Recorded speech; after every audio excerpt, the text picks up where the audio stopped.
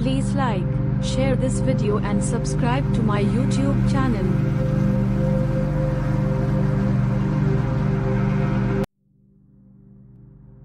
राधिका एक software company में job करती थी।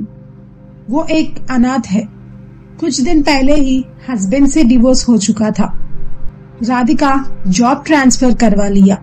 विशाखापट्टनम एक अच्छा सिटी है। उसको रहने के लिए अपार्टमेंट टॉप फ्लोर में मिल गया। कोरोना के समय से कोई भी उस अपार्टमेंट में नहीं रहते। दो साल से काली पड़ा है, पर उस अपार्टमेंट से नज़ारा अच्छा है। उस अपार्टमेंट का ओनर भी एक बुढ़िया औरत है। उन्होंने उस अपार्टमेंट को काफ़ी कम किराए में राधिका को दे दिया। राधिका को अपार्टमेंट अच्छा लगा। पुरानी यादें भूलने के लिए सही है। जॉब ज्वाइन कर लिया। रात को सामान लगाते समय उसने बाथरूम सीलिंग पर एक होल नोटिस किया। उस होल को न्यूज़पेपर से कवर किया हुआ था। पर वो न्यूज़पेपर्स निकल गया। होल दिख रही है। राधिका ने भी उस होल को न्यूज़पेपर से कवर किया और अपार्टमेंट की ओनर को फ़ोन करके बताया। ओनर ने बताया कि सीलिंग रिपेयर हो जाएगा। टेंशन लेने की कोई बात नहीं है। राधिका सो रही थी। उसको कुछ डिस्टरबेंस बाथरूम से सुनाई दिया। राधिका को लगा सीलिंग होल में चूहा होंगे। सुबह ऑफ़िस चली गई। फिर रात को ठीक 12 बजे छत के ऊपर कोई दौड़ने की आवाज़ सुनाई दे रहा था। इतनी रात में लास्ट फ्लोर के अपार्टमेंट की छत के ऊपर कौन दौड़ रहा है? उसको हिम्मत नहीं हुआ लाइट ऑन करने की। ऐसे ही चारपाई पे आँख बंद करके लेट गई। थोड़ी देर के बाद चारपाई के नीचे से कुछ सीटने की आवाज़ आ रही है।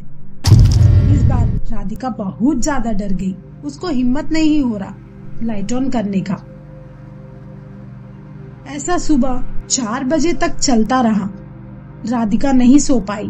उसने अपार्टमेंट की मालिक को फ़ोन में कंप्लेंट किया। अपार्टमेंट मालिक ने बोली, डरो मत बेटी। वो शायद नीचे की फ्लोर में से कोई सामान इधर उधर कर रहा होगा। मैं उस बाथरूम के होल को भी जल्दी से रिपेयर करवा दूँगी। अब घबराने की कोई ज़रूरत नहीं है। तीसरे दिन रात को राधिका चारपाई पे लेटने में डर रही थी। वो एक बिल्ली को खरीद कर लाई। साथ में कोई पेट होने से अच्छा लगेगा। वो लाइट ऑन करके चारपाई में बैठी है। लाइट ऑफ़ करने में बहुत डर रही थी।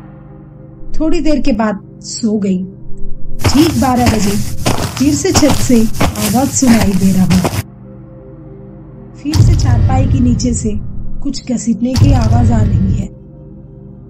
इस बार उसकी फालतू बिल्ली भी रोने लगी।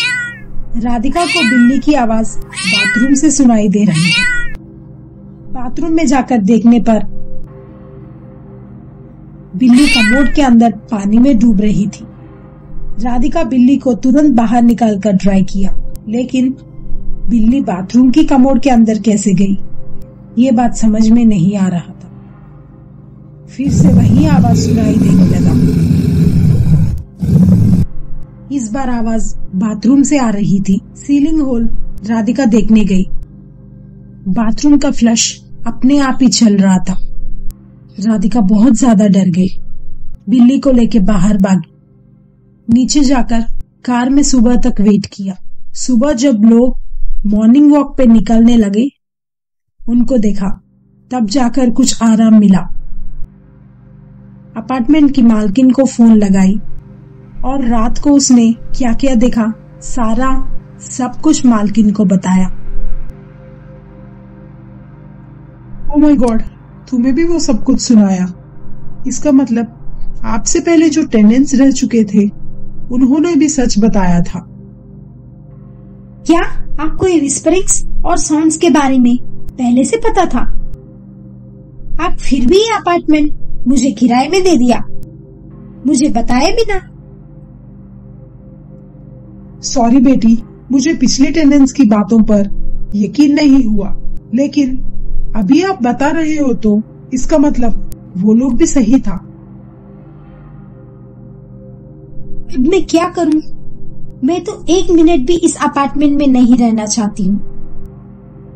मैं काले कर रही हूँ। राधिका अपार्टमेंट वेकेट किया। दूसरे अपार्टमेंट, जो ऑफ़िस के बिल्कुल नज़दीक है, उसमें जाकर रहने लगी। कुछ दिन के बाद, एक फैमिली उनकी बेटी के साथ उस अपार्टमेंट में किराए पर आ गया। इस बार भी उस अपार्टमेंट की मालिक, न्यू टेनेंट्स फैमिली को कुछ नहीं बताई। अपार्टमेंट उनको अच्छा लगा।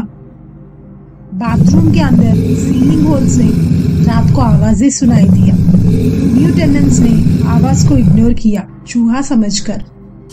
रात को ठीक एक बजे दो भूत बच्चों के रूप में चारपाई के नीचे से बाहर आया। जो बच्ची सो रही थी उसको जगाया। क्या तुम हमारे साथ खेलोगी? उस बच्ची के साथ सीलिंग होल से एटिक में पहुँच गया। काफ़ी देर तक तीनों खेले। सुबह अपने नया दोस्तों के बारे में कीर्ति ने उसके पापा को बताया। दोस्त कौन सा नया दोस्त? देखो कीर्ति इस अपार्टमेंट में हम लोगों के अलावा कोई नहीं है। तुझे नींद में कोई सपना आया होगा। नया जगह है इसलिए तुम कंफ्यूज हो रहे हो। जाओ जाकर खेलो। कीर्ति चार साल की है उसको समझ नहीं आया। लेकिन उसने जो भी कहा वो सच था।